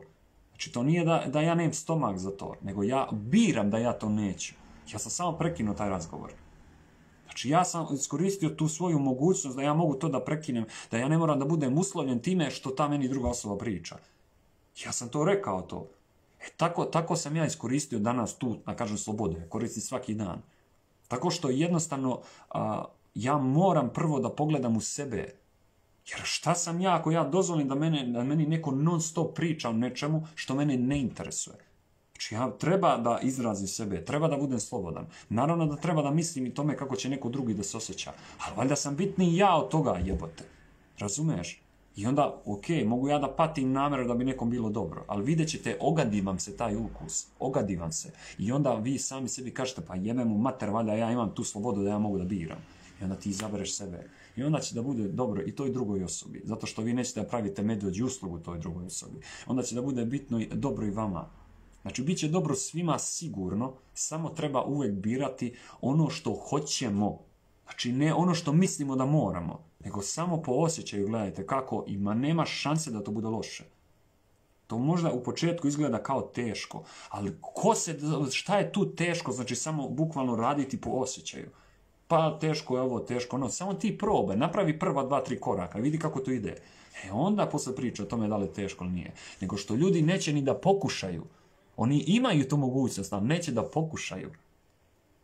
Tako da, Verice, ja ti kažem da pokušaš da gledaš kroz tu prizmu, kroz tu drugi taj prozor u sebi što se zove osjećaj i vidjet ćeš da je sloboda već tu. Tu je. Nije ona nigde otišla niti je izgubljena. Ona je uvijek tu, nego što ti više ne gledaš u to. Ti hoćeš kroz, ne kažem ti, ali taka neka osoba, kroz ovolicni prolaz, ona hoće da vidi cijel svijet. A to ne može, nije namijenjeno za to. Tako da, vrni se ti na osjećaje i ja mislim da ćeš imati fenomenalne rezultate ako pričaš o sebi. Ako pričaš o nekom drugom, onda ok. Olivera kaže super, dobro. Biljana kaže, osjetila sam te danas, Božo, znala sam da će biti live. Zdravo, Biljana. Kaže, radujem se, tema je fenomenalna. Super je tema. Kaže, šta znači biti slobodan, još uvijek tragam za tim. Kaže, znam da ćemo večeras uživati slušajući te. Šta znači biti slobodan? ja bi preinačio to pitanje u da, da, li sam, da li se ja osjećam slobodno. To treba da pitaš, što je najličnije pitanje. Znači, ne kako čovjek da bude slobodan, koji čovjek, o, o kojem čovjeku mi pričamo. Mi pričamo o meni ili kad ti pričaš o sebi, onda pričaš o tebi. Znači, pustimo mi druge ljude sad. Znači, pričamo mi lično. Šta je to za mene? Da li se ja osjećam slobodno? Kako se ja osjećam? Da li, da, li, da li sam ja slobodan u svom životu? Da li ja mogu da uradim u svom životu šta god ja hoću? Ne, ne pričamo o posljedicama. Ja pričam o mogućnosti da li ja to mogu da uradim. I kad ti vidiš da možeš, ti onda krećeš da uviđeš tu slobodu. Ti onda krećeš da uviđeš da mi biramo stvari, da mi nismo prisiljeni na stvari, nego mi ih biramo namjerno. Mi ih namjerno biramo. E, to tako već može da se osjeti ogromna sloboda. Znači da ja budem svestan da ja zaista biram to. A ne da sam uvijek prisiljen ili da moram nešto. To nije tačno. Makar iz mog iskustva. Eto. Drago mi je, odlično si pitanje postavila i baš o tome pričam večeras. Naravno da to nema jedan precizan odgovor šta je to, jer je to lična stvar. Jer pazite, za mene sloboda sigurno neće biti isto kao za nekog drugog sloboda. To možda bude slično, ali isto neće biti sigurno. A čak šta više, često se desi da je to totalno različita stvar nego oko drugih ljudi nego što je kod mene. Samim tim to znači da je sloboda individualna stvar kod ljudi. Nije generalna. Možda mnogi drugi ljudi, kad mi neko, skoro sam pričao sa jednom devojkom mnogo inteligentnom i pričali smo baš o toj slobodi i bio je pomen da ona hoće da cijel svijet bude da imaju škole koje uče o svim ovim stvarima, da postoje te mogućnosti, da, da svim ljudima bude uh, dodeljeno sve što im treba, da, da ne moraju da se muče za ovo i za ono. Ja sam onda nju pitao, pa čekaj, ti, uh, uh, jesi se ti zapitala da li bi to ti drugi ljudi hteli? Jer ti to hoćeš za njih. Razumeš što ne pričaš o sebi? Treba da kažeš ja bi to htela, za mene tako. Jer čim mi pričamo, krenemo pričamo o drugim ljudima, to je odmah nametanje. Jer ima nekih ljudi koji možda hoće da, da rade to, da se trude, da napreduju, pa da dođe do toga. Oni neće da im se da odmah možda. Ja ne kažem da bi to većina ljudi htela, ali sigurno ima ljudi koji ne bi to hteli. Oni su navikli na ovo, oni će kažu, ma jok, ja, pa koliko puta ste vidjeli kad date babi ili dedi telefon ili laptop ili bilo šta. Oni neće da uče uopšte o tim novim stvarima ako su sto puta bolje od onoga što oni imaju već prethodno. Znači, daje ti se nešto bolje, ti imaš gore. I ja kažem, neću. Što? Zato što su navikli i zato što neće da se muče, neće se tru, oni neće slobodu. Oni hoće da uživaju toj sigurnosti što već imaju. Oni su se zatvorili. Razumeš? E o tome se radi kad mi pričamo o slobodi. Da neki ljudi neće da budu slobodni. Oni neće. I zato ne treba pričati o drugim ljudima kad mi pričamo o slobodi, nego uvek o nama samima. Jer potkud ti znaš šta taj neko hoće ili neće ili kakva je njegova priroda. Oni mogu da nas se pokažu, a mi to nema šanse da proniknemo u to, u samu srž tih ljudi. Jer ljudi se menjaju, isto koji mi. Tako da, po meni bi trebalo već, veliku većinu vremena, ako se već priča o stvarima, govoriti lično. Šta je to za mene, šta je to za nas, ako smo mi tu. Eto. Pročitao sam sve komentare iz posta, sad ću da pročitam iz live-a i trebalo bi da bude to. Sad ćemo da vidimo komentare iz live-a. Naravno. Aha. I ovo kaže da bi skinuli odgovornost sa sebe, najlakše je reći da se mora nešto. Dok kada čovjek kaže da je to njegov izbor, na taj način preuzima odgovornost, preuzima svoju sudbinu u svoje ruke. Ja bih rekao da tad osvešćuje da mnogo toga zavisi od nas samih. Što se tiče odgovornosti, ok, ali ja bih rekao da je to preosvešćivanje. I saglasan sam s tobom da, da odgovornost ljudi skidaju sa sebe i tako kažu da su primorani. To jeste do odgovornosti, ali ja bih pre rekao da je to sloboda u pitanju. To možda bude i jedno i drugo. Arijana kaže, ja sam vidjela celu sliku. Melisa kaže, upravo vi imate opciju da pomažete, a u toku live toliko ljudi vam šalje negativnu energiju. ne znam, ja nisam osjetio to. Ja sam osjetio ogromnu slobodu ovdje, čak i od tebe. Merima kaže, ako nisi slobodan, tu mislim na sve vrste ideologije koje ograničavaju um, emocije i tako dalje, kako možeš isto spoznati? Pa viš, o čemu ti pričaš? Ti pričaš o ideologijama, o emocijama i onda kažeš duh. Znaš, to dosta ima tu upletanost, jer pazi, sam duh za mene je prirodnost moja, nešto za što se ja ne trudim, ono što ja jesam i samo to izražavam. Dok, na primjer, kad kažem um, to je sfera u kojoj ja mogu da funkcionišem. Znači nešto ja tu mogu da pravim, da, da uništavam, da kreiram i tako dalje. Znači to, to, je, to su malo različite stvari, nije to isto. Kaže kako možeš išta spoznati. A evo recimo dok ti gledaš ovaj live sad ovdje. Ti možeš dobrati pažnju na mnoge stvari. Možeš dobrati pažnju na ovog leptira iznad ovdje. Ili na ovo gore, na ovaj, ovaj plafon, ili na moju kapu, ili na moje oči, ili na ovaj duks. Ili možeš da obratiš pažnju na ono što pričamo. Ili možeš da obratiš pažnju na sve to. Je tako? E to je ta sloboda. Znači ti sama biraš na što obraćaš pažnju.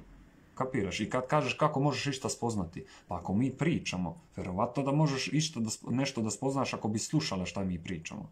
Je tako? Tako da u ovom primjeru kaže kako možeš isto spoznati, samo slušaj.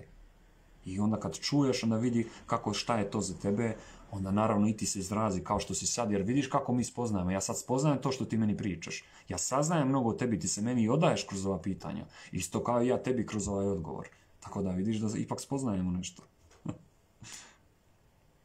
znači samo biti prisutan, to je to. Tanja kaže biram slobodu u svakom momentu. Tanja. Sofija kaže savjet kako lako naći live video. Aha, to je Sofija, dobro, hvala Sofija. Sve tišina kaže, da li sloboda kad neću ono što hoću? Jeste. Tako je, to je također to je sve sloboda, to je to. Mm, pa izbor sloboda, to je to, Marika kaže, ok. Kristina kaže, zdravo svima, gledat ću kasnije, Kristinče. Verica kaže, hvala veliko osjećaj i paže na sebe, razumela sam, apsolutno. A to što ti smatraš sobom, možda nije kod tebe tako, ali kod mene jeste, tu sferu mogu da dohvatim kroz osjećanja. Znači, ako, kad ja kažem obratim pažnju na sebe, šta to znači? Jel to znači da obratim pažnju na svoje ruke, na glavu, na jezik, na zvuk, na šta? Znači, po meni bi to trebalo da bude emocija ili osjećaj. I to me dovodi do mene. Znači, to je bukvalno sama srž i sijavanje onoga što ja jesam. Tako da, hvala ti Verice na pitanjima i na komentarima, ti si sjajna. S tobom, joj pa da, da, sljedeći live, mi smo ovaj live trebali pravimo zajedno, ja sam totalno zaboravio na to. Ajde sljedeći live, molim te, pošto ja zaboravljam puno, opomeni me što se tiče live-a zajedničko ili tako nešto. Ja mislim da ovdje ima x ljudi koji tebe obožavaju da slušaju, pogotovo posle zoomovanih. Znači, također bi ja želeo da razgovaram s tobom u ovakvim, u ovakvom ambijentu. Izvini, molim te, ja sam, ja sam totalno zaboravio za to. Ljubica kaže, bravo, ma kad mi svići uz dlaku, niz dlaku često red radi kontra sebe, pa to ti sloboda. Jelena kaže pozdrav svima, kasnije u pravi moment, djeco. Biljana kaže hvala Božo, Biljana, hvala tebi na pitanjima, uvek su, uvek su baš ono u srž. Ok, idemo dalje. Merima kaže, Božo, naše društvo se oblikuje na taj način.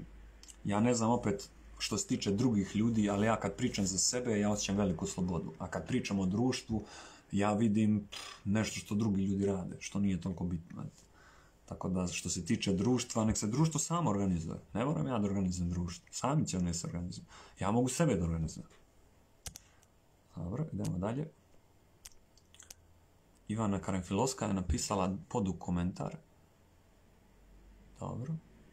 Kaže, sloboda je divna i predivna, sloboda je sloboda. Da bome, kaže, ali uz nju ide saosjećanje to ide uz veliku slobodu, proporcionalno tome kad je ljubav tu prisutna, ide i saosjećanje, naravno. Kaže, evo je na primjer, ali odnos između dvoje ljudi koji se vole ipak postoje ograničenje, jer se time pokazuje saosjećanje, nesebičnost i poštovanje prema drugoj osobi. Kaže, ta sloboda se ipak razlikuje od ove slobode. Ne. Kaže, po meni, po meni nije tako. Ja smatram da je sloboda individualna stvar i da se ljudi prepoznaju međusobno i ako su kompatibilni, oni mogu da budu jedno s drugim, da izražavaju tu ljubav. Međutim, ako nisu, oni treba da se sklone jedni od drugih. I to i jedna i druga osoba tada imaju slobodu. Znači, te njihove slobode ne moraju da postanu jedna. Oni su individualno slobodni. Ali ako ne odgovaraju jedno drugom, jednostavno samo treba da se sklone. I to je apsolutna sloboda po meni. Znači, ja mogu da imam saosjećanje prema nekome. Ali ako to saosjećanje mene tera da ja, tu da ja budem s tom osobom samo zbog saosjećanja, znači ja vidim da mi nismo kompatibilni, kakva je to onda ljubav. Znači, to treba malo, malo samo treba biti svjesni u tim stvarima, ništa drugo. To je do zrelosti dosta. Dobro. Verica kaže, da li je sloboda čuveni inat? Ja mislim da mnogo kroz inat može da se izrazi sloboda i da definitivno jednim delim, velikim delom jeste, ali da je inat je u suštini, kako se to kaže, kako se kaže to? To ono kad kažu kontraš ili kontra ili nadžija ili tako nešto. A, dobro, to je, to je ima tu i zaguljenost, ima tu svega i svačega, ali definitivno sloboda može se izražiti kroz bilo šta. Ali inat to je ona kontra, ono kad ja kažem, e sad namjerno neću, e sad ću da se inatim, namjerno neću. Pazi, to nije baš sloboda. Jer u tom trenutku ja kažem da ja sad to namjerno neću i onda šta god da mi dođe, da možda da mi promeni to, ja se, ja se ovaj, uokvirim se, sklonim se od svega i kažem boli me dupe za sve, ja ću tako. To jeste sigurno neka sloboda, ali minimalna sloboda. Jer ti tad nisi receptivan na sve. Nis, nismo otvoreni tad. Merina kaže ok, dobro. Verica kaže kontraproduktiva, možda bude. Ivana kaže, Boždara, kako iskreno praktikuješ pitanje malo van teme? Pa nije. Ok. A, vegansku iskreno praktikujem, tako da kažem, ili ti jedem, volim ovaj, vegansku tu hranu što čistije moguće naravno, ali gledajući posjećaj dosta, znači nisam je nešto probilio, ali što se tiče iskrene, definitivno veganska, da, za sad. Možda budu sokovi u budućnosti, vidjet ćemo. A, Verica kaže ne negativnu inkonotaciju inata, nego propuštanje. da, to je ok. saglasan sam Verica s tim. Ok. Pročitali smo sve komentare, pročitali smo komentare sa posta, odgovorili smo što se tiče velike većine komentara, ja mislim svih, ako sam nešto propustio, izvinite, molim vas, pogledat ću još jednom. A, pričali smo malo o slobodi, nije nešto preterano pričano. Ja vam kažem, bilo kakav komentar da imate ili bilo šta da imate vezano za ovu temu, definitivno treba da postavite čak i iz vašeg primjera ako imate neki problematiku. Jer mi nismo ovdje da razrešavamo neke stvari, već samo da se malo osvestimo, da se družimo i kroz to druženje da se osvešćujemo. To isto i ja radim ovdje. Znači, nisam ja ne znam ja šta. Ja na mnoga pitanja nemam odgovor i kad nemam odgovor ja kažem da nemam. Ali ako mi nešto slično vezano za to, ja ću definitivno to da izrazim. Aha, ima ovdje od Ane komentar u postu. Kopićana kaže, dragi momče, samo ja sam te nocaš i baš je bilo lepo i onda se zazvonio alarm. He, he, poz. Dobro. Nadam se je bio dobar san. Kaže, baš je bilo lepo. Evo da drago mi ja sam, tako se zove nalog na Facebooku, kaže sloboda je biti uvek ono što jesi. Definitivno je jedan od najvećih izraza slobode da budeš ono što jesi, ali to poneki put ja neću da budem ono što jesam, tako da ima i ta sloboda, ali saglasan sam. Zoran kaže, sloboda je imati hrabrost, hrabrost i govoriti istinu. Definitivno jest, apsolutno. Dobro. Melisa kaže, mislim da inat namjerno uskraćuje slobodu, a ljudi nisu ni svesni. Pa, u suštini, ja mislim da je to definitivno ovaj, neka zadrtost u pitanju, inat. Poneki put čovjek neće namjerno zato što mu prelije, ono pa se inati, ok, ali sam po sebi ina to neka definicija za neku zaguljanost. Znači ja neću boli mene kura što ti pričaš i to je to. Ili boli mene dupe da li je protiv ovog ili protiv ja hoću tako. E sad što ta osoba hoće tako, to je često u, to je često u opoziciji protiv nečega. Ne zato što ja stvarno hoću tako, nego ja sam vidio da neko nešto radi ili da neko nešto priča. E sad samo zato što on tako radi i priča, ja ću kontra toga. Tako da je to, ima tu slobode, ali ja mislim da je to jedan od najmanjih izražaja slobode. Znači što ti to radiš? Ne radiš ti to zato što se osjećaš, ćeš se osjećati lepo ili što će biti dobro, nego ti namjerno hoćeš da se kontriraš tome, da bi napravio neku poziciju. Što je igra sama po sebi, nije to ne znam nije šta ozbiljno, ali eto. Pročitali smo sve komentare, ljudi, ja bih vas za sad pozdravio. hvala vam što se družite sa mnom, ovaj live nije dug. Tema je opširna i ogromna, možda jedna od najbitnijih u mom životu, tema slobode i kako izražavati, šta je zapravo sloboda za mene lično. Mnogo može da se kaže oko toga i definitivno kroz svaku temu može da se prožme. Bilo kako pitanje vezano za imate za to, slobodno možete da postavite ili u ovom postu ili u samoj grupi vezano za bilo koju tematika grupe. Također, htio sam da kažem nešto ovdje u live ljudima koji me gledaju, imam tu mnogo dragih ljudi i koji će pogledati, ne znam da li ću uopšte napraviti post tome, u, za jedno par dana ja 15 dana neću biti uopšte ni na jednim medijima, znači isključit telefon i tako dalje. Zove me to već odavno, treba da eksperimentišem nešto i za taj eksperiment potrebno je da budem odvojen od svih medija na jedno određeno vrijeme. Poslije toga sam tu, ovaj, pa ćemo se družiti. Eto.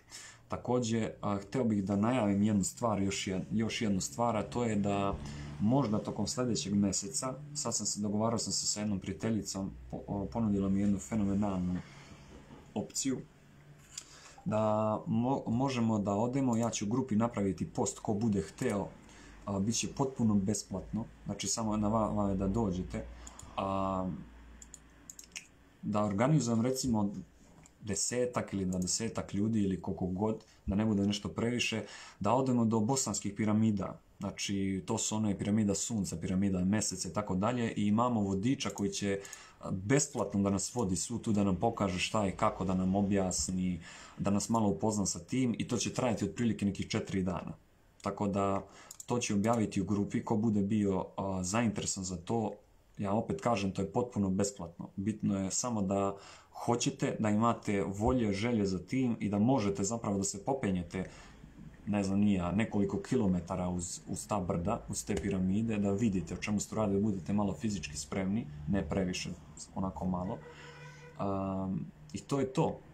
Tako da ako budete htjeli, eto, to će biti ponuđeno u grupi Astralni svet. Totalno je neprofitno, znači apsolutno za džabe. Ja ću ići sa, vjerovatno sa mojim, sa nekoliko mojih prijatelja i koji će svi biti naravno iz grupe Astralni svet, također to će biti dostupno cijeloj grupi ko bude hteo. Napravit ću post ovih dana, tako da eto, možete to da očekujete, to možda će nekog da zanima. Mene definitivno zanima, ja nisam tamo bio, hteo bih da odem da vidim šta je to i da se upoznam sa tom prijateljicom također i sa mnogim drugim prijateljima. Tako da je to to za sad. Posljednja zahvalnost ide ljudima koji su odvojili, zapravo odvojili od svoje energije i pažnje da doniraju meni. Hvala vam puno ljudi na donacijama, zaista to je nešto nevjerojatno i novo u mom životu. Volim vas, eto, kao što volim sve ljude u ovoj grupi i ljude koji jednostavno poklanjaju ne samo pažnju prema meni, nego i ljubav. Tako da, eto, hvala vam puno i vidimo se neki drugi put.